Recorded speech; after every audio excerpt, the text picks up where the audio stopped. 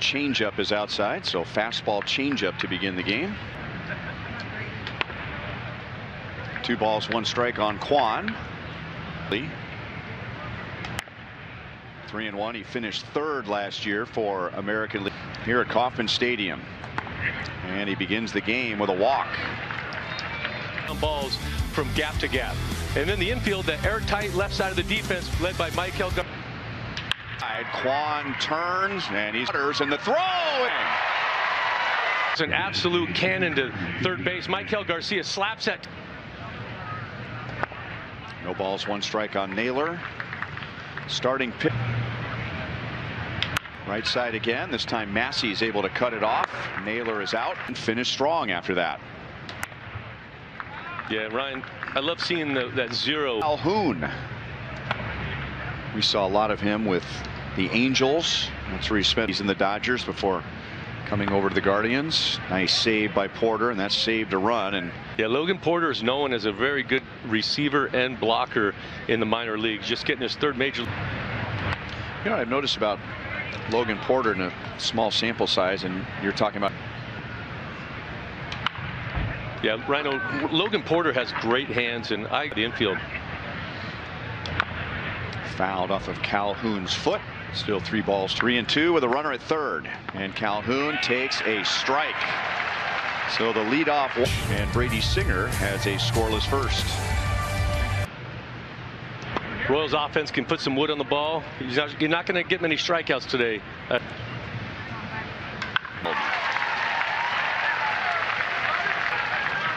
really rely heavily upon that sinker cutter combo, that split finger. Now Bobby Witt Jr. And he takes a low strike. Four hard hit balls. Ground ball hit right to short. Cleveland's going to have to hurry and out left and center respectively and a couple former gold glovers and the Toronto area.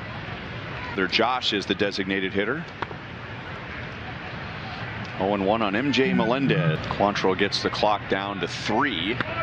And that's low. One and two on MJ. These hits are going to come. And not only come, but come in bunches. We've seen that with MJ. But as they come. Hold to the right side, Giménez down to second one, and Arias bobbled. One ball and no strikes. One. One ball, one strike. And during that at bat, Ryan, he did such a great job. Two balls, one strike. Yeah, and Jeremy Guthrie.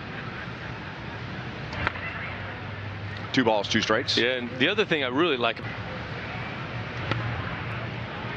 And he takes that pitch outside. Three balls, two strikes. Yeah. There goes MJ. Missed.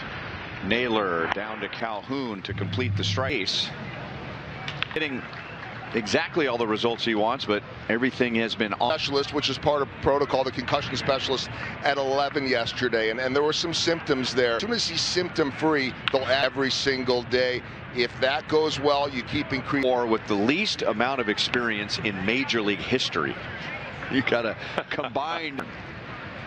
Porter used his glove, and it was right in the center of the glove. You know, going back back in the Central, but when the deadline came, they were sellers. And now Minnesota slowly. Strikeout from Brady, that two-seam fastball running, starting on the plate, and two-seam fastballs down in the zone.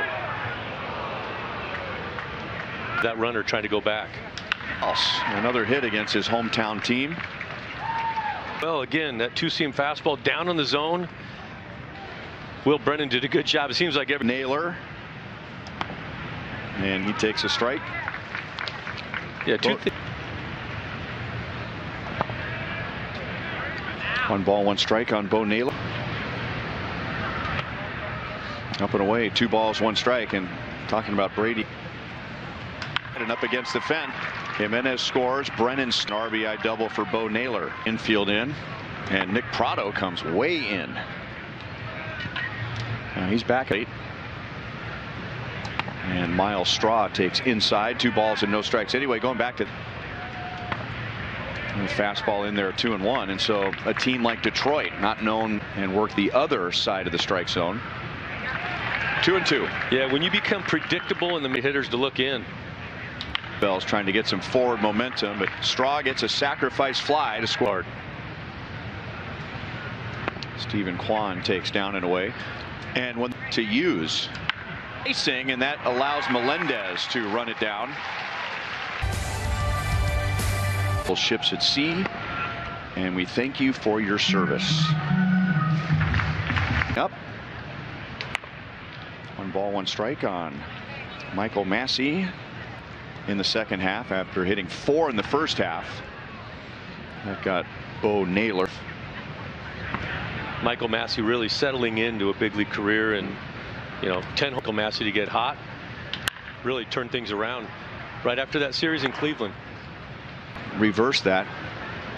And then he said, he goes, but I also know if I get out, as it turns out, he did not have a good start this year.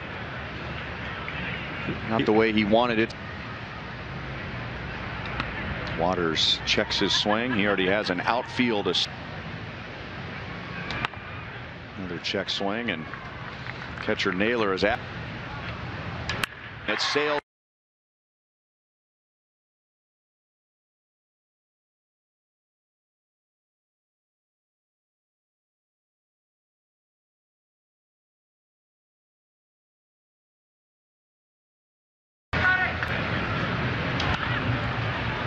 Two and one. Yeah, I like that approach right there from Pratto and barrel balls up while being more a little bit more aggressive and it's one of his strengths that he knows this. Got him with a fastball up and away. He is an old school guy. I'm thinking, what are you thinking? Because mm -hmm. we were taught, hey, you be ready to hit the fastball every splitter or a slider, so I'm going to sit on it. And they end up taking that fastball right down the middle. And I don't think that's a good. Blocked by Naylor. One ball, two strikes. Yeah, and that was something that Coppers. Porter is down on strikes. That was a high splitter, but Quantrill got a. So lead off walk.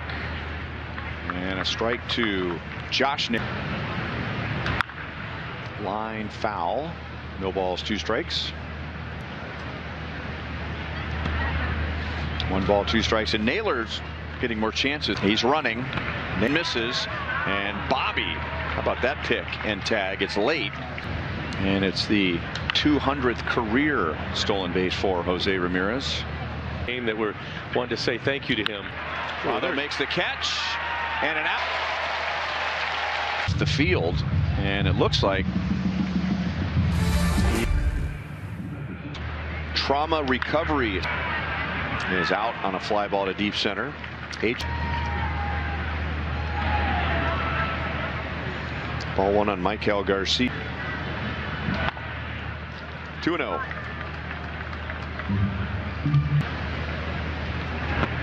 And now three balls, no strikes. We were talking about Quantrill's starts, but he's been slowly getting it back together after coming off the injured list a second 15 and 5 with a 3.3 ERA.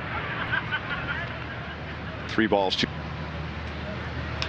Comes off of his hand and then very casually at the ball, which resulted in two bases for the Royals. Jose Abreu throwing his glove at the ball to keep it from going into right field. And Jeremy Guthrie